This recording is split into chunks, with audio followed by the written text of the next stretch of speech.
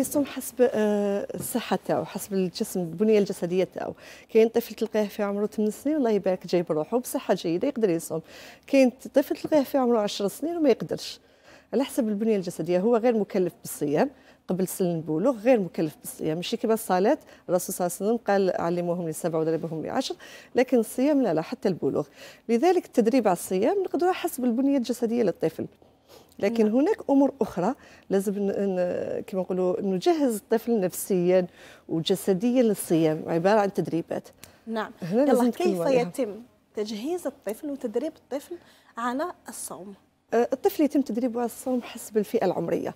على بالنا كاع إنه الطفل ينتقل لمرحلة الإدراك تاعو من مرحلة لمرحلة. يعني الإدراك تاع الطفل كاين من المرحلة الايحائيه الروحانية الايحائيه إلى المرحلة السببية إلى المرحلة الغرضية. يعني الطفل كي يكون صغير كامل يشوف إنه إحنا نقدروا نحسوا به ونحسوا بالألم تاعو كامل يشوف إنه موضع كلش. لذلك هنا ما نقدروش نقولوا يكون صغير بزاف.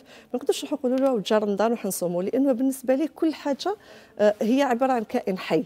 حتى رمضان هذا حتى كل حاجة كائن حي يفهم بالملموس. نعطوه الملموسات.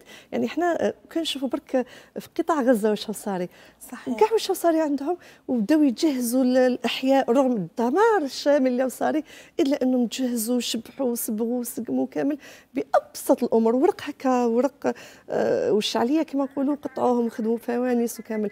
يا حبذا لو إنه كل أسرة يديروا هذه الأمور هذه يجهزوها للاطفال في البيت يجهزوا البيت آه، يشوف الطفل يحب يشوف حاجة ملموسة يحس باللي البيت تغير جذريا مش نقول لهم روحوا شروا حاجات غاليين ولا امور بسيطة جدا.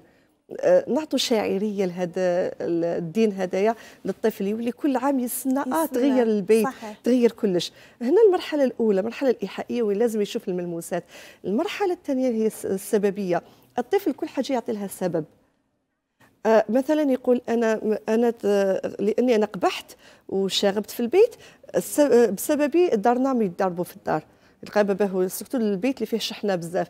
ولا بسبب كليت هذه الماكلة أني مرضت بسبب هذه صار لي هكذا. دائما كل حاجة يربطها بأسباب. لذلك هنايا نحاولوا نعطوا له سبب تغيير البيت والهدوء في البيت والمودة والرحمة والسهرات العائلية ومجالس الذكر وكاع. هو رمضان. نعطوا له السبب المرحلة الأولى مازال ما يعرفش إيش حاب يقول نعم. انه يتغير. المرحلة الثانية هاو السبب. عنده المرحله الثالثه اللي هي الغرض إنه كل حاجة عندها غرض. مثلا الطفل في هذه المرحلة يجي يقول لك آه ماما طيبتي لي هذيك الحاجة على جال تحبيني. آه يقول لك آه طاحت هذيك على جال طبعها فلان ولا جال درتي هكذا ولا كل حاجة يعطي لها ما الغرض من وراء هذا الفعل؟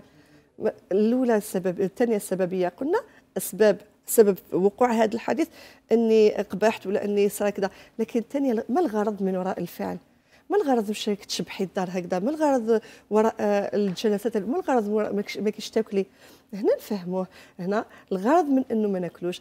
إنه ربي سبحانه خلانا صحة لينا ما ناكلوش لصحتنا لأنه فايدة لينا. إحنا دائما دائما ناكلوا الجسم تاعنا عيا المعدة ديالنا عيات ان ما ناكلوش نفيقوا الناس واحد آخرين مساكن ما عندهمش ما عندهمش باش يشروا الماكله ما نقعدوش غير حنا ما ناكلوش خاطر الناس ما عندهمش.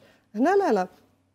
أه، ما ناكلوش لأنه الله عز وجل هنا نحى الشياطين. ما كاش شياطين في الدنيا ربطها ربي سبحانه وصفدها. هنايا رانا أقوياء ولأن أقوياء نديروا الخير قد ما نقدروا لأنه البطل تاعنا اللي هو الرسول صلى الله عليه وسلم والطفل اللي يموت على كلمة